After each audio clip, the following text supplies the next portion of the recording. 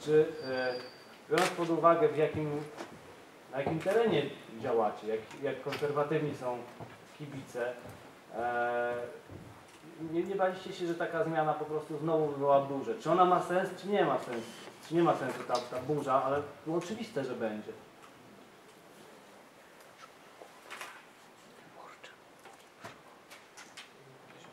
Baliśmy się.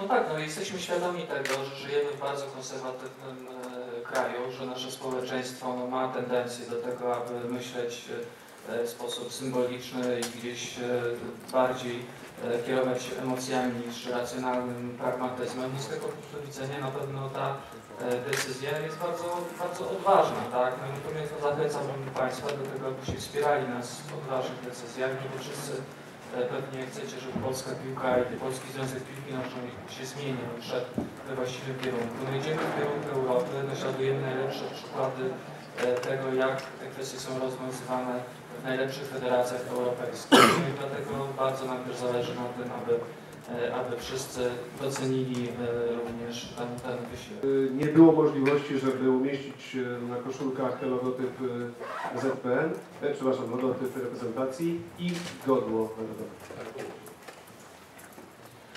E, Wybraliśmy inną koncepcję, poza tym taka koncepcja, o której mówisz, no musiałaby się wiązać też ze zgodą e, UEFA. W regulaminie FIFA federacja może wydać kilka wariantów. Godło narodowej reprezentacji jest jednym z wariantów, może to być godło narodowe, może to być nawet wizerunek maskotki. Jest kilka wariantów, które można wydać. Też flagi, no tak jak pokazywaliśmy. Jest jedna regulacja, która dotyczy formatu, wielkości tego e, logotypu. Musimy mieć 100 cm kwadratowych. Drodzy Państwo, znaczy, czym prędzej wszyscy przyjmiemy do wiadomości, że to jest proces nieodwracalny, dla wszystkich będzie po prostu lepiej. No, z tego względu, że jest e, to e, decyzja nieodwracalna i sam proces, nawet gdybyśmy wszyscy teraz e, e, wymyślili inne rozwiązanie, jest nie do zrealizowania w, w ciągu najbliższych dwóch lat, czyli do czerwca 2014 roku. Dokładnie, bo to chodzi nie tylko o przygotowanie strojów meczowych, to jest jeden z elementów tej całej kolekcji, ale również przygotowanie strojów treningowych i strojów na co dzień. Więc jest to szereg różnego rodzaju rzeczy, które firma najpierw musi wyprodukować. Tej zmiany były sprawy marketingowo-biznesowe. Głównym powodem były powody marketingowo-biznesowe.